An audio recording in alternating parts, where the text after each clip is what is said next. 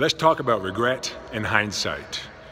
We often tend to beat ourselves up thinking, oh, if I had done something differently in the past, my reality would look exactly like this. I used to do that too.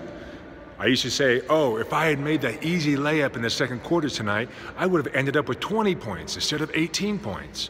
But then I had a thought hit me one day. It was like, well, if I had made that easy layup in the second quarter, the next play would have been totally different, and the next play would have been totally different because they would have had to inbound the ball, and so chain reaction.